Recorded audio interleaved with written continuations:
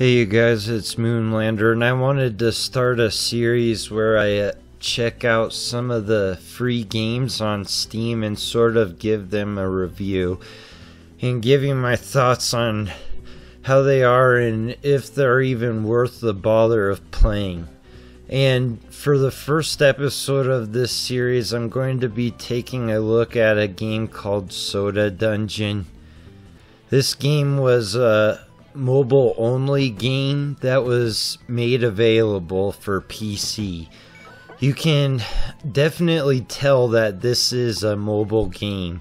It is very simple. At first, I felt like I was going to be very bored playing this game since the first few times you enter a dungeon, you basically trade attacks until you run out of health, and then you uh, and there's only one attack. and uh, then you return to your tavern in the local village to start over again. Uh, it was several hours later I realized that I was addicted to the progression in the game. And the goal is to make it to the highest level in the dungeon. Mm, after each trip into the dungeon, you are rewarded with golden items with strengthen your abilities, armor, weapons, and types of characters that you can bring with you.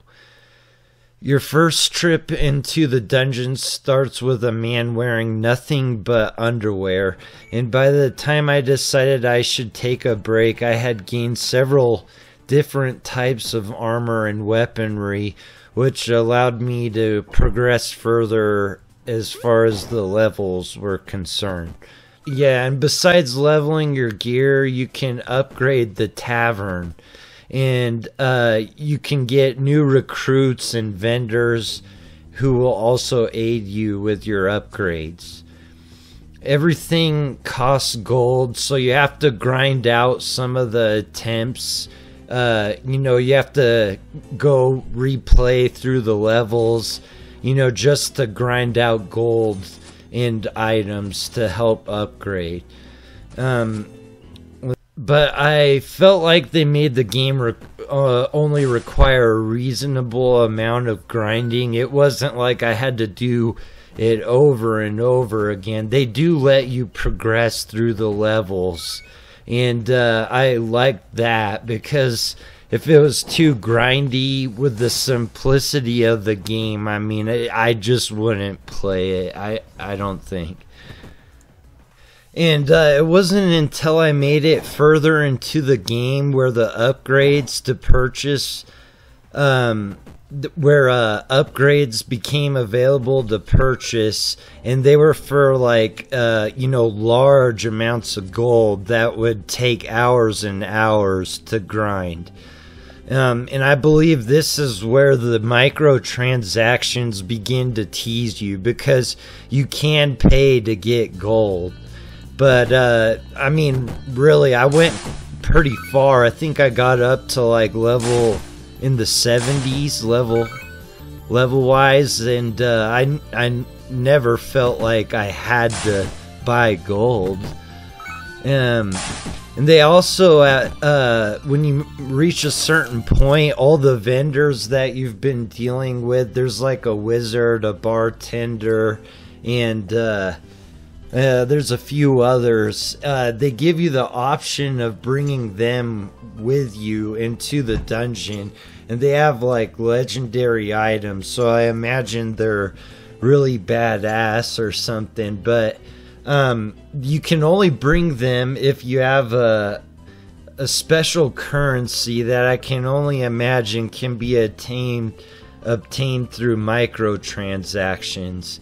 And if there was another way to acquire the gold or the currency, um, I didn't come across it. So I'm pretty sure they were trying to get you there to uh, pay some money. Um, my final thoughts on this game is that it's pretty mindless, but it was addicting, and I do sort of enjoy that type of game at times. And I'll leave it installed and I'll probably play it again, you know, just for the heck of it. But uh, you know, probably when I don't feel like thinking too hard. But uh, uh, I do suggest giving this game a try. Um, you can't really expect a free to play game without microtransactions because, I mean, you, you know, I mean, we don't want to, you know, discuss that. I mean, I understand it.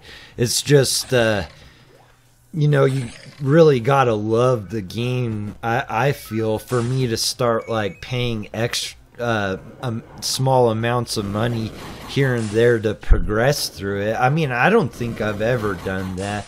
Probably the only game I spent additional money on, uh, besides just buying outright uh, DLC content uh, as far as like more levels or story or maps for multiplayer uh, would be Overwatch. At Halloween, I think I bought 20 loot boxes because I really wanted some of the skins.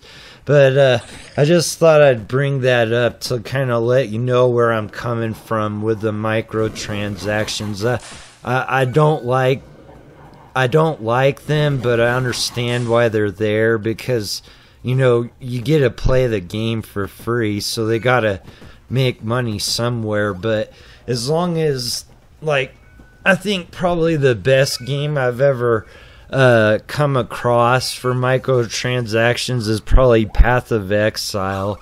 And uh, someone I know that plays that game like a ton, uh, you know, he's went out of his way to spend money on the game because he's such a big fan of it. So uh, I don't really feel like this game is like that, but um, my final rating on this free to play game is going to be a 7 out of a 10.